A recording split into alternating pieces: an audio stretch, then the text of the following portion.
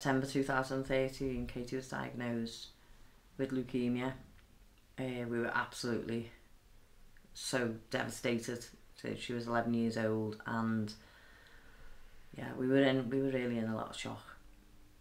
Um, for three months, Katie lay in a hospital bed, wired up to all kinds of machines, uh, really fighting for her life.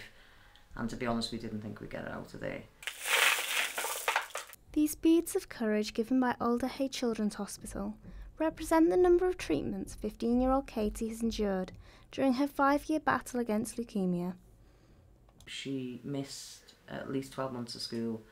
She spent eight months in hospital that first year fighting for her life and once she got through an intense phase of chemotherapy, she then went on to what's called maintenance, which is a lower dose of chemotherapy but still every day. In November 2016, Katie suffered a relapse, leaving the family looking for life saving alternative treatment only available in America.